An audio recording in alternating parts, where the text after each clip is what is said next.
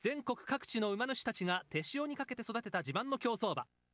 最も強い一頭を決めるドリームレース。ブリーダーズカップが間もなくスタートします。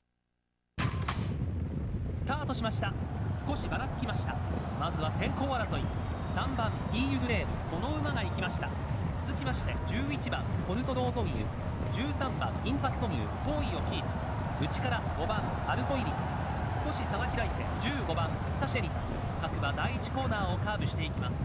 3馬身相手12番オブリアゲイン。これを見るように外側16番大和レーネそのうち8番ドーキング万歳。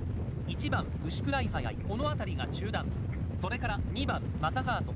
その外4番たくさんサンライズ2コーナーを抜けて向こう上面。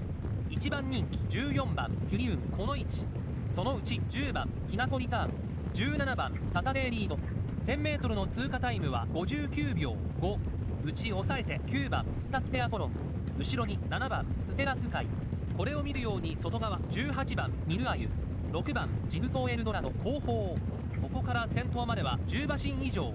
先頭変わってアルコイリス。さらに3番イーユグレーブ。13番インパストミュー好位をキープ。11番ポルトロートウィユ。後ろに15番スタシェリタ。各馬大欅の向こうを通過。3馬身相手12番モブリアゲイン。続きまして16番ダイワレーネー内抑えて8番ドーキング万歳。1番牛くらい早い真ん中あたりにつけています。長い府中の直線 500m に入ります。先頭はわずかにアルコイリス。400を切って先頭アルコイリス。その後イーユグレーブここからが勝負どころ。アルコイリスわずかに先頭か。イーユグレーブ勢いよく追い上げる。残り200を切りました。インパストミュー頑張っている。2番手イーユグレー。その後スタシェリ。インパストミュー先頭。